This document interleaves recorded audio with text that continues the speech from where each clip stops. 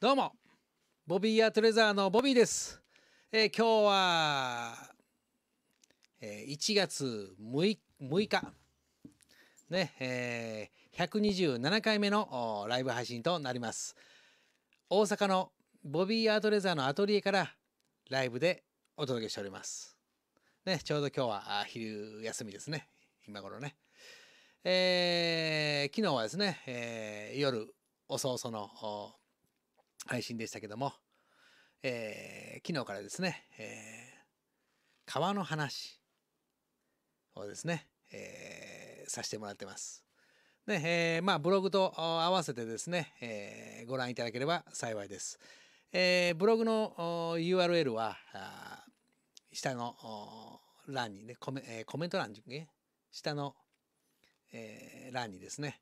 えー入れてます。で、Facebook をご覧の方はあ上の欄にありますんでね、えー後でね、クリックして、えーご覧ください。えーそういう形でですね、今日のテーマは、あサメ川、シャークスキンの魅力ということで、えー簡単にね、お届けしたいと思います。ね、えーサメ川って言ったらもうねあのこういう比較っていうかあ川の世界ではですね、えー非常にポピュラーなあものなんですけども、えーそうですね、えーこれ写真を出しますねこんな感じでね、えー表面がですね、えーちょっとこうざらついたっていうか、うん、あの独特の脂肪感があるんですよね。でこの凹凸があるっていうかちょっとあ現物がありますんでちょっと見てくださいねこのわかりますかね、えー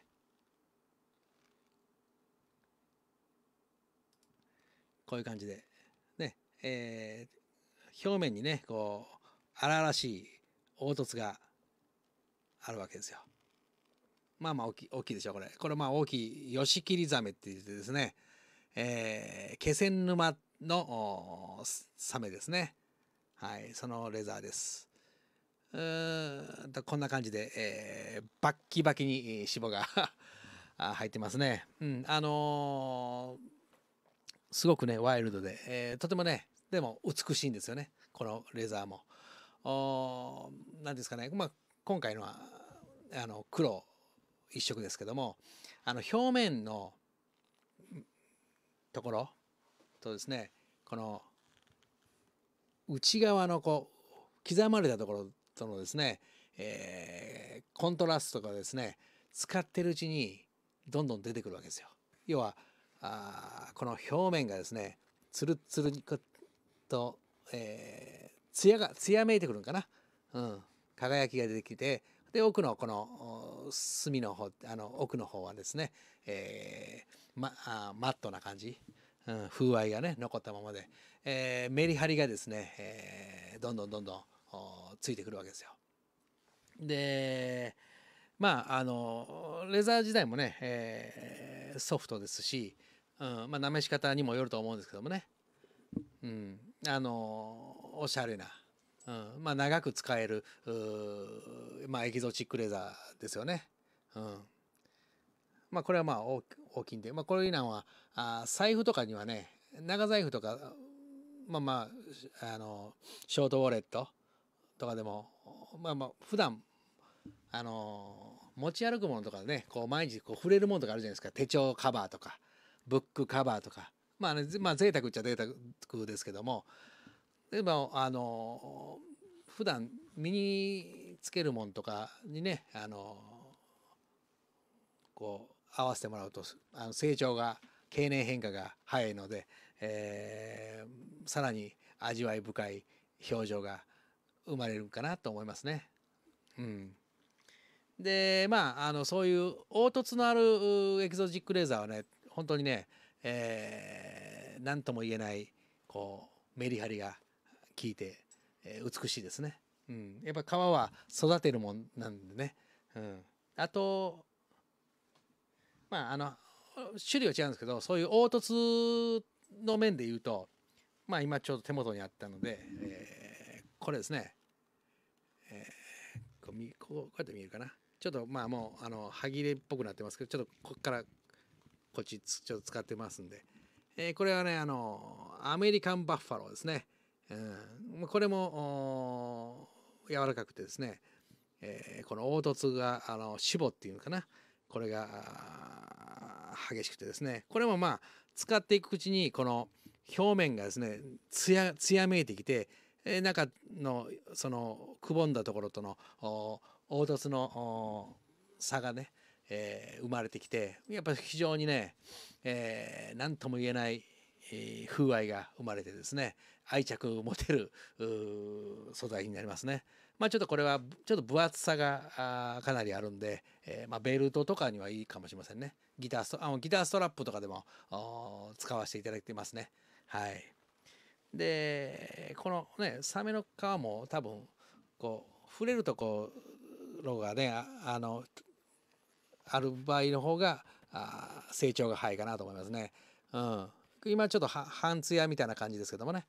うん、まあこれも非常に柔らかくて、えー、ソフトなんでねまあ本当まあうんそうやね、えー、ちょっとした袋とか、うん、いいかもしれませんね。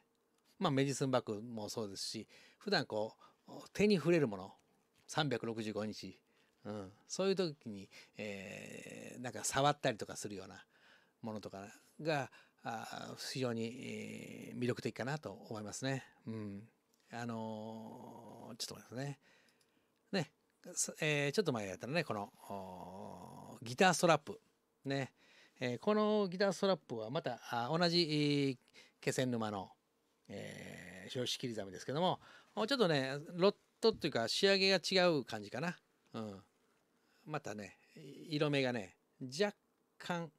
違うんですよ。けど同じサメですね。このでまあ場所場所によってやっぱ生き物なので、えー、この「ふ」っていうんですか、うん、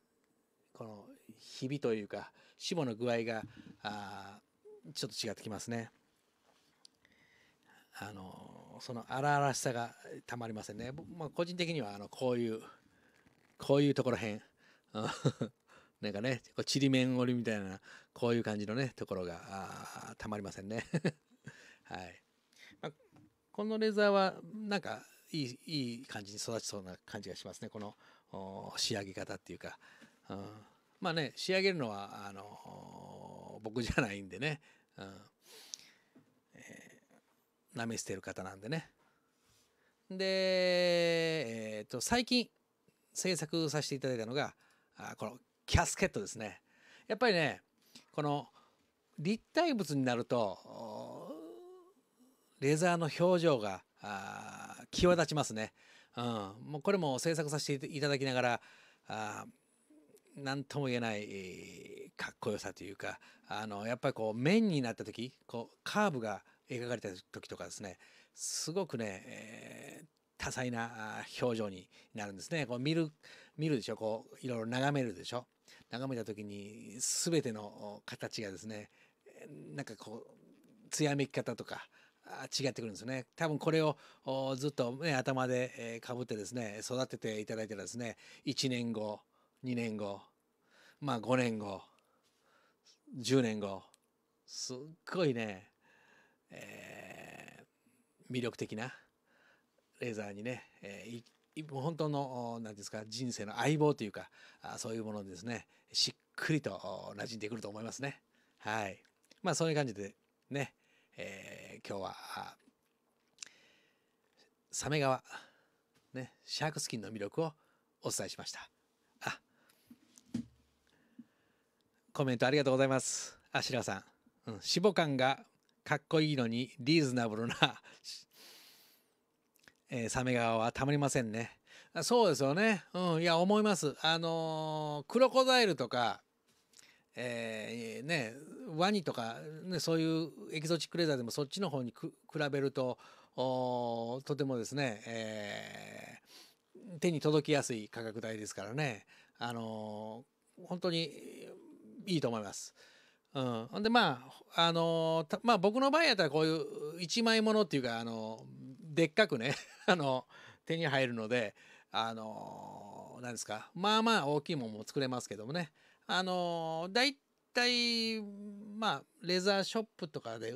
販売されてるのは大体こう四角いカットした皮がまあ多いと思うんでね、うん、そういう場合は多分あの財布とかのあの長財布とかにはねぴったりだと思いますけどね、うん、まああのなんかこれもねギターストラップで、ね、制作させていただいたみたいに、えー長いものもね、えー使えますし、